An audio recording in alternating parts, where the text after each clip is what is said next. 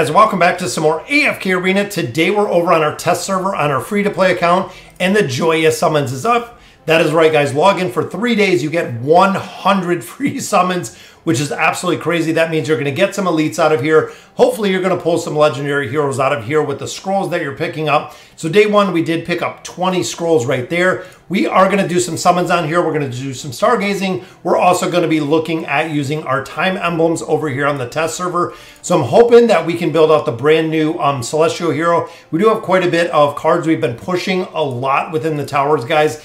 King's Tower, every 10 floors you do get cards out of here.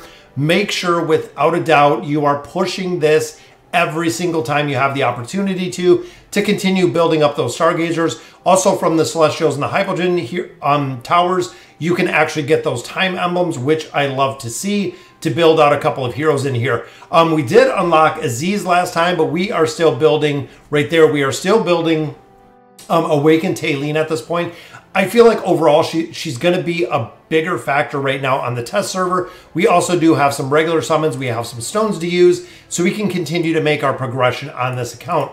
So here, guys, we have 24. That is right, guys. We have saved up 24 elite stones. Um, getting most of these out of the Misty Valley. That is another place, guys. The elite stones, the rare stones, also the loot, the heroes, the the everything that comes out of the Misty Valley, guys. Make sure that you are focusing on that. And the Misty Valley just launched today on the test server. Next couple days, it will be up on the main servers. So let's see what we get here, guys. Hopefully we get some lucky heroes. So we got Respin in there, we got Tylee in there, we got Granite, we got Oden, Orthros. So we did pick up a Celestial Hero right there. Unfortunately, not the one we're looking for, but we did get double copies of Oden. We got Silas in there, Eironn. So overall, not a very bad pull with the amount of heroes we had in there. Um, I feel like we're going to have to really boost this up. Most of the accounts, I have boosted this up to 300. That is kind of the the spot, the, the sweet spot that I found. If you're not pushing um, high VIP levels, or if you're completely free to play, building this up a little easy uh, makes it a little easier when you are building out a lot of different heroes to continue to build them out. Um, so Silas, we're actually adding a star right off the bat with the cop the copy we just pulled, and I believe Oden we're pretty pretty much ready to build him as well. Or is he one? We already have him done. Oden is already done. Orthros we pulled another copy of, just putting another one right down here.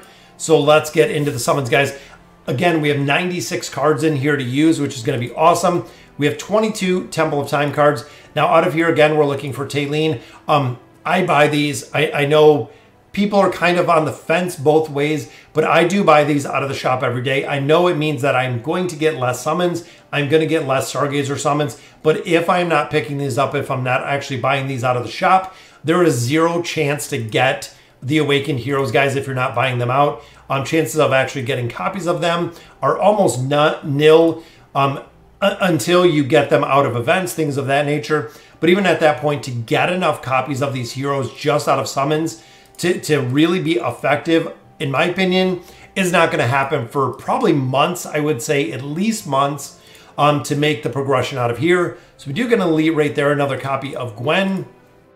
I'm hoping that some of these scrolls in here are going to yield us some of our legendary heroes, which I know, again, the probability of this is very low, but we can always hope, fingers crossed, there's another copy of a star. Already have her at two stars, so super excited to see that. Close to getting another card there. All right, guys, Stargazer. So we are looking for, that's right, we're looking for our brand new hero right there. Um, Audrae, I, I want to build her out on this account. I know it is completely free to play. It's going to take us a little bit of time, but I can push the towers, which I've been doing. Um, I need her in the Celestial Towers to do damage is really the main focus there. So I'm hoping, again, fingers crossed with a little bit of luck, we can pull some copies of her. Would be very cool to see. So Light Bearers right there. Love to see some diamonds as well. We haven't actually seen 30,000 diamonds in a considerable amount of time. Another light bearer card there. Either that or we're going to get completely shut out, guys, which we do not. There she is. So that is our unlock. One single pull right there. Guys, in the avatar, the avatar um, that we get from her is amazing looking, guys. It's got the star background, which I love. And even pulling the single one, I believe that does unlock 10 Stargazer cards. So we can actually do a full another Stargazer pull. And I'm hoping, again, that we do get some copies of her. There's a Graveborn card. So we got about four more pulls here. We are into our diamonds, guys. And there's another copy, so that will take her to Elite Plus. Gonna take a big commitment to build her out. There's a Mauler card right there. Not getting too much luck. Our final pull here gives us another piece of gear, but I know up here we will be able to, let's complete the copy of her. So I'll actually put that one copy of her together, meaning that we'll be able to get a little bit out of the heroic ship. And I'm not sure if we're gonna have enough or if we'll be able to um, build her out fast enough to get that. But there is our 10 Stargazer cards, guys. So that will entitle us to one more pull, which could it be a copy? No, it is a bunch more resources. So overall, not too impressed. Didn't get anything from the temple. Got two copies out of the Stargazer.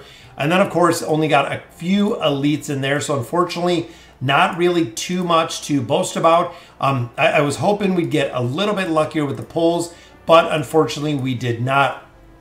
Oak Inn, we know we're looking out, looking to build quite a few heroes in here. Um, we have 53,000 right now. We do have quite a bit of furniture in there. I'm building out Scarlet. We just got Baba Yaga. We need more copies of Kren, and I'm actually going to drop out. I'm, I'm thinking I'm going to finish out a star. So I'm going to use two of these on a star. I'm going to finish her out with the furniture bonuses. That way I can actually take her and drop her out of here and then I'm going to go ahead and add, so Zolrath we are picking up out of the out of the um, the Challenger store right now. So I'm going to put Audrae in there and we have Baba Yaga in there. Let's go ahead, equip these up. There we go, nine of nine right there. Now it is into the summons, guys. Really hoping, fingers crossed, we can pull a couple copies in there. I know we got to build out um, a, a few heroes on this account, really looking at some of the meta formations. There's a copy for Daimon, so I think we need one more copy, and Daimon will be done as well, which would be very cool to see. Another mythic right there, which is King Arthur, just like that. I believe he is very close as well. There's another piece for Kren. Kren's another one that is pretty close to being done. No, Arthur didn't have any. So we had Eironn at eight, so we could actually finish out both of them as well. And I think I think I'm gonna do that. So we have Eironn, we have Daimon right here. So let's see. Here is Eironn. So we'll actually take him up to that nine of nine. Then we'll also do the exact same. I'm gonna do that for Daimon. So we can drop both of these heroes out, giving them both nine of nine furniture. I use both both of them, and there they both are, guys. I do utilize both of them within the campaign stages, which I love doing. So first I look at dimensionals. Um, we have quite a few. So we have Albedo already at three. Prince of Persia we could definitely put in here. And here we already have nine of nine right there. Gonna have to get a couple more copies. We know we're building out Talene. We know we're building out um, Audrae. Um, here we built up Nara a little. A lot of those Graveborns have the nine of nine. We're building out Tasi. We could drop Mishka in here. Mishka is actually a hero we are focused on building. Here we already have Skarath at the three, which is good. And then, of course, we have Scarlet in here. So all of these guys, we just need to add a lot of furniture. 32,000 to go ahead and build another copy there for Kren. And Kren we're going to have to look at. And a double guys, Zolrath and Raku. Very nice with the double furniture pull right there. Kren, I know, I think we need a couple more copies of. There's a copy for Scarlet. And back-to-back -back furniture, guys. Another piece for Scarlet. That gives her, I believe, the three-piece right there which is really required to push that Twisted Realm. Piece there for Tasi.